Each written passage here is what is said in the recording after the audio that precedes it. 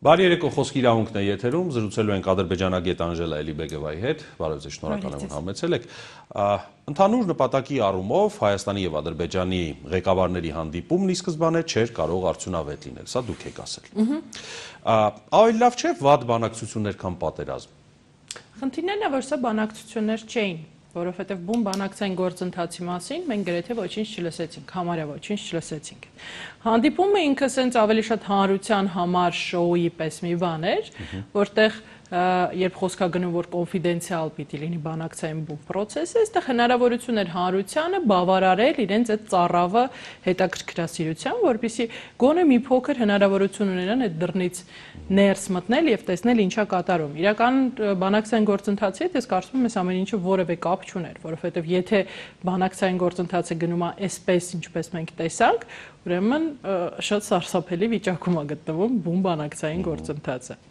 Միկրոհեղափոխությունների մասին նոր թեզ ներմուծեց, այսպես կարելի ասել, վարչապետը այդ հանդիպման հենց ժամանակ։ Դուք ինչ եք հասկացել այդ միկրոհեղափոխություն թեզի տակ արդյոք բանակցային կամ դիվանագիտական առհասարակ լեքսիկոնում էլի նման բառակապակցության պատահել եք Արցախյան հարցի կարգավորման շրջանակներում վստահաբար չեմ հանդիպել նրա նման բան, բայց այստեղ հարցը ինչի ինչ եմ ես հասկանում, հարցը այնա թե ինչ են ուզում ասել դրանով, որովհետև հանրությանը վերջ-վերջո երբ որ ներմուծվում է նոր տերմին, պետքա բացատրեն այդ տերմինի տակ ինչ է, որովհետև 1000 հոգի 1000 տարբեր կարծիք կարա ունենա, 1000 տարբեր ձևի ինտերպրետացիա անի եւ նույնպես հակառակորդը, որը դա իր քարոշչական նպատակներով միշտ կարող է օգտագործել։ Այսինքն, երբ որ լրագրողը հարց է տալիս, դուք փուլային տարբերակին կողմնակից եք, Ալիևը կարճ ասած պատասխանում է այո, իհարկե, որովհետեւ միշտ կողմնակից եղել։ Իսկ Նիկոլ Փաշինյանն ասում է, մենք միկրոհեղափոխություններով, հետո մինի հեղափոխություններով առաջ ենք գնում։ Այսինքն դա էլ է փուլային տարբերակի կողմնակից լինել, թե չէ, որովհետեւ մենք այդպես էլ պատասխանից չհասկացանք դա եւ հետո էլ չհերկվեց դա։ Այսինքն, եթե մենք գնում ենք ադրբեջանական փուլային տարբերակով, ըստ երևույթի արժի որ հանրությունը դրա մասին տեղեկացված լինի, որովհետև հայկական կողմը այս 25 տարի կողմնակից ա եղել փաթեթային լուծման։ Իսկ այդ միկրոպուճուրիկ քայլերով առաջ գնալը դա ձեռնտու է առաջի հերթին ադրբեջանական կողմին։ Եվս մեկ եզրույթի մասին Արցախի ընտրյալ ներկայացուցիչներ։ Ովքեր են դրանք եւ կարող եք ասել ինչու է օգտագործում այդ եզրույթը ոչ թե ասենք օրինակ Արցախի հանրապետության նախագահ կամ Արցախի հանրապետության հատուկ հանձնարարություններով դեսպան կամ արտգործնախարար եւ այլն։ Ինձ առհասարակ անհանգստացնում է, որ ներմուծվում են անընդհատ, հա, ինչպես ասեցի, նոր ձևակերպումներ, որոնք չեն բացատրվում ինչի համար են։ Այսինքն 92 թվականի արդեն գործո իրականության հետ կապ չունեցող ֆորմատի ձևակերպումները բերում ենք 2020 թվական որպեսի ինչ ստանանք։ Այսինքն ինչի համար ձևակերպում տալ ընտրյալ ներկայացուցիչ, որովհետև տեսեք, ադրբեջանական քարոզությունը կոնկրետ այս դեպքում դրանից օգտվեց, որովհետև իրենց այսպես կոչված Ղարաբաղյան համայնքի ղեկավարը հենց ընտրվեց падգամավոր, իրենց այսպես կոչված վիրտուալ Ստեփանակերտյան ընտրատեղամասով վիրտուալ ընտրողներով։ Հա, ինք ասացի, ես էլ եմ ընտրյալ ներկայացուցիչ, բարև ձեզ։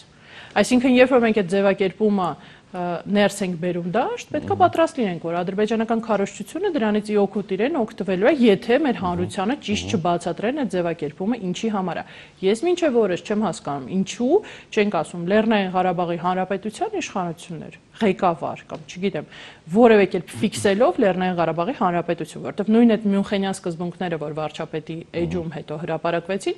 այնտեղ էլ չկա ձևակերպում նման։ Այնտեղ Լեռնային Ղարաբաղը ամենտեղ ասվում, ոչ թե Լեռնային Ղարաբաղի Հանրապետություն կամ Արցախի Հանրապետություն։ Ինչու՞ մա խնդիր, ինչ է ձևակերպումը չի օգտագործվում, ինչի դրա մասին չի խոսում։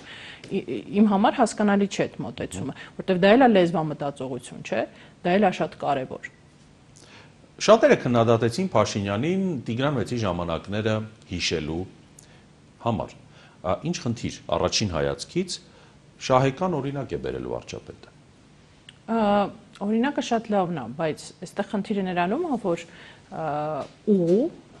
նու բերեցինք մենք այդ օրինակը։ Ադրբեջանը միջնադարից խոսեց, մենք Տիգրան 6-ից խոսեցինք։ Վերջը Այսինքն այդ պատմական էքսկուրսները իրենք ոչ մեկին հետաքրքիր չի։ Հետաքրքիր է ներկա իրականությունը ու նորագույն պատմություն, այսինքն այդ իրականությունը ինչի արդյունքում է դարձել այդպեսին։ Հաստատ Տիգրան Մեծի ժամանակահատվածից չի գալիս, հա, այդ խնդիրը Ադրբեջանի եւ ադրբեջանցիների հետ։ Այդ բարոյա հոգեբանական իրանց բարթույթները մեր հանդեպ, անընդհատ հայերի հանդեպ ջարդեր կազմակերպել, ցեղասպանության փորձեր, այսինքն այդ ամեն ինչը Տիգրան Մեծի հետ այդքան էլ կապ չունի։ Դա մեր նոր նորագույն պատմության շրջանի մի մասը, որը շատ լավ փաստարկային բազայով մենք ունենք ներկայացված։ Ուղղակի պետքա դա բարձրաձայնել, որպեսզի միջազգային հանրությանն էլ հասկանալի լինի, ինչի մենք չենք ուզում կողք կողքի ապրել այդ մարդկանց հետ։ Վերջիվերջո ինչու՞մ է խնդիրը։ Ինչու է երկու ժողովուրդը չեն կարողանում բարիշել։ Երբ որ մենք ասում ենք, որ կներեք մեզ այդ մարդիկ անընդհատ ֆիզիկական սպառնալիքներ են հնչեցնում, Ալիևը այդտեղ նույնպես նստած հենց տեղում իրեն դրսևորում է որպես ֆաշիստ եւ դիկտատոր, այսինքն ի ցույց աշխարհի ցույց է տալիս իրենց մոտեցումների, իրենց պաշտոնական հայատյաց քաղաքականությունը եւ իր բոլոր դրսևորումներով անթակույց առանց ամաչելու։ Բավական է ուղղակի ցույց տալ աշխարհին։ Այս այա մեր խնդիրը հիմա։ Շատ լավ ահա Տիգրան Մեծին հիշատակեցինք, բոլորս ուրախացանք դրանից, որ մենք կանք Տիգրան Մեծի ժամանակվանից Ադրբեջանը չկա, այդտեղ այդ միջազգային հանրության մեծ մասն էլ այդ ժամանակ չկար, որ այդպես ուսերը թափ տվեցին անցան առաջ։ Այդ տարածքները մեզ համար անվտանգություն են։ Այ միջազգային հանրության համար սա որքանով ընկալելի։ Էլի առաջին հայացքից ված բան չի ասում կարելի է հասկանալ տողատակում, որ մենք տարածքի հարց չենք լուծում, սա մեր անվտանգության հարցն է, բայց հասկանալի է։ Չէ, տարածքները դա անվտանգություն են բառակապակցությունը, ես չեմ կարծում, որ նույնիսկ մեզ է հասկանալի միջև վերջը, որովհետև մենք դա անցալում ենք որպես մեր հայրենիք, մեր ազատագրված տարածքներ, հա, երբ որ ասում են դա զուտ անվտանգություն է մեզ համար, դա մի փոքր այդպես չի, այդտեղ մեր համակարգացիներ են ապրում, այդտեղ այդ հողերի համար արուն է թափվել, հա։ Երբ որ մենք դա անցալում ենք որպես անվտանգություն, առաջի հերթին հարցը առաջանում։ Իսկ եթե միջազգային հանրությունը մեզ այդ անվտանգության երաշխիքը տա, մենք հրաժարվելու ենք այդ տարածքներից արդյոք։ Այսինքն այդ ֆորմուլայի մեջ զուտ դա տեղավորելը այդքան էլ ճիշտ չի։ Այո, նաև անվտանգություն է դա, որովհետև այո, ադրբեջանցիները հենց հնարավորություն են ստանում մի փոքր հնարավորություն են ստանում մեզ մոտիկ գալու մեր քաղաքացիներին, քաղաքացիական անձանց։ Մենք տեսնում ենք ապրիլյանի քարորիայի արդյունքում ինչա լինում այդ խաղաղ բնակչության հետ։ Օրինակ Թալիշում։ Օրինակ Թալիշում, այո։ Օրինակ զինվորականների հետ։ Բայց շատ լավ կլիներ, եթե Ալիևին հիշեցնեին, թե ոնց էր ինքը ապարքեվատրում զինվորականների, որոնք գլուխ էին կտրում եւ նկարվում էին մեր զինվորների գլուխների հետ։ Շատ լավ կլիներ։ Դանիել Իոնիսյանը, որը չասեմ ով է, Նիկոլ Փաշինյանի համար, ակնկալում էր իր Facebook-յան էջում էր համենայն դեպս գրել, որ վարչապետն այդ հանդիպմանը կխոսեր Թալիշի մասին, մեր գլխատված զինվորի մասին, Սաֆարովի մասին, բայց ինչպես Facebook-յան գրառման տերը Իոնեսյանն է ասել, սա վատ չէր, սա շատ վատ էր Ինչևէ, դուք ել եք կարծում, որ սա հենց այն առիթն էր, որտեղ պետք էր սա հիշատակել այդ Թալիշի դեպքերը, այդ մեր գլխատված մեր զինվորի դեպքը, մեր կացնահարված զինծառայողի Ռամիլ Սաֆարովի կացնահարողի մասին եւ այլն, թե դրանք փակ բանակցությունների ընթացքում ընդհանրեն այդ մասով խոսելը եւ իբրև արգումենտներ բերելը բավական է։ Չէ, հակառակը միջազգային հանրությունը առավել եւս էս հունվար-փետրվար հատվածով, հա, Բաքվի ջարդերի 30-ամյակ էր մեր մոտ, հա։ Փայլուն ժամանակահատված Մյունխենյան այդ համաժողովի ժամանակ, որպեսի խոսվի դրա մասին։ Գալիս է Սունգայիթի տարեդարձը։ Գալիս է Խոջալույնը Այսինքն սա մի ժամանակահատված է մի ամսվա կտրվածքով, հա, երբ որ հագեցած այդ պատմական իրադարձությունների շքերթ է, այսպես ասած, գնում, որոնց վերաբերյալ մենք շատ մեծ ասելիք ունենք եւ միջազգային հանրությանը բացատրելիք, որովհետեւ ոչ միայն, հա, ոչ միայն ապրիլյանից, բայց նաեւ ապրիլյանի մասին պետք է խոսել, որպեսզի ցույց տալ, որ սա ընդամենը 4 տարի առաջ է եղել։ Այնպես չի, որ Ադրբեջանը փոխվել է, այնպես չի, որ Վարքագիծը Իլհամ Ալիևի իր քաղաքականությունը կամ կամ իր քաղաքացիների մոտեցումները հայատյացության վերաբերյալ փոխվել են։ Ինչքան էլ իրանք ասում են միջազգային հանրությանը մենք պատրաստ ենք հայերի կողքը ապրել, մենք պատրաստ ենք խաղաղությանը, բայց բոլորը պետք է հասկանան, որ դա սուտ է դա ուղակի կատարյալ սուտ է, որ այդ մարդիկ իրենց մոտեցումները ֆիզիկական սպառնալիքները հայերի հանդեպ երբեք չեն դադարում անել եւ դա էր պետք միջազգային հանրությանը ներկայացնել. Պարզ, բացատրելի եւ հասկանալի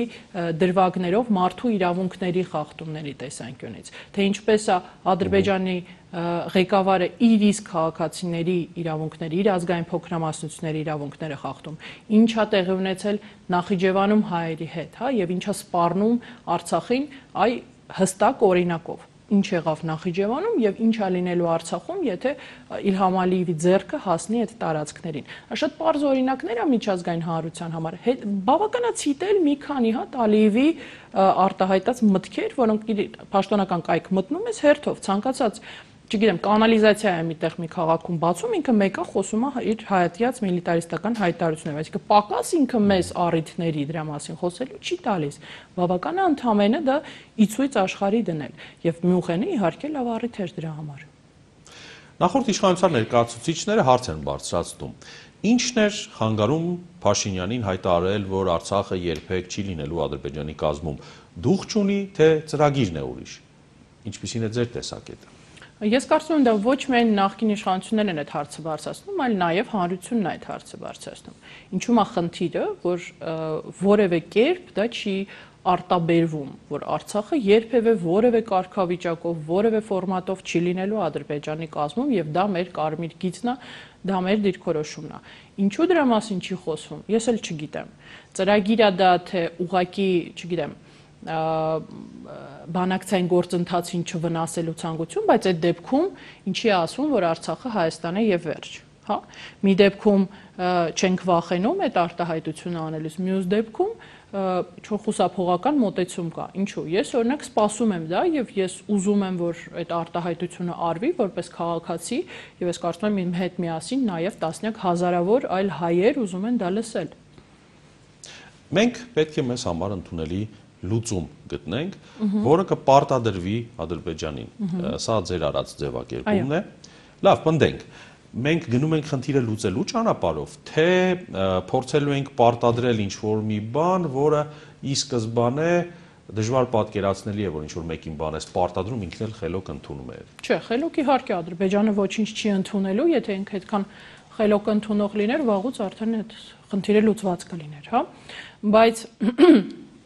Այդ արտահայտությունը ես անում եմ, երբ ես լսում եմ, որ լուծումը պետք է ընդունելի լինի երեք կողմերի համար։ Եվ այդպիսի լուծում չկա։ Բոլորս հասկանում ենք, որ գոյություն չունի նման լուծում։ Բայց ես նաև հասկանում եմ, որ այն պահից, երբ որ Ադրբեջանը մի փոքր գոնե մեր կողմից ստացավ իրեն հարմար լուծման տարբերակ, մենք ոչ միայն խնդրի լուծում կստանանք, չենք ստանա, այլ հակառակը մեր խնդիրները անընդհատ ավելանալու են, որովհետև իրենք ավելի շահեկան դիրքից հարցակվելու են, որովհետև իրենց խնդիրը դա կոնֆլիկտի կոմպրոմիսային լուծումը չի։ Իրենց խնդիրը A սկզբից ստանալ Արցախ, B հետո Սյունիքը, հետո Երևանը։ Ու իդեպ դրա մասին նույնպես Իլխամ Ալիևը խոսեց անթակույց։ Այսինքն այդ մարդիկ նույնիսկ իրենց պլանները մեզնից չեն թաքցնում, իրենք բացահայտ դրա մասին խոսում են, որ իրենք ոչ միայն Արցախի վրա ախորժակ ունեն պահած, այլ նաև Հայաստանի Հանրապետության տարածքի, հա։ Եւ այս առումով իրենց կամ պարտադրում ես քո ուզած լուծումը ուժով, վախացնելով, պրեսինգով, ճնշումով, կամ դու ունենալու ես ել ավելի շատ խնդիրներ, եթե քեզ թվա, որ դու եկար իրանց հետ կոմպրոմիսի։ Ադրբեջանցիների հետ մենք երբեք կոմպրոմիս չենք ունենալու եւ մեր վերջին 100 տարվա համակեցության պատմությունը իր տարբեր փուլերով ու դրսևորումներով դա ապացույցը լավագույնս։ Շնորհակալ եմ ձեզ մետարկիզության համար։ Ես էլ եմ շնորհակալ։ Հայկական երկրորդ եթերում խոսքի իրավունքներ, դրանից օգտվեց ադրբեջանագետ Անժելա Էլիբեգովան։ Մենք կհանդիպենք ցտեսություն։ Ամեն օր օրվա ամենակարևորից առանց արհեստական հավելումների Սա խոսքի իրավունքն է, ես Շավարժ Գևորգյանն եմ, եթե ուզում եք բաժանորդագրվել YouTube-յան մեր ալիքին, հղումը էկրանին է։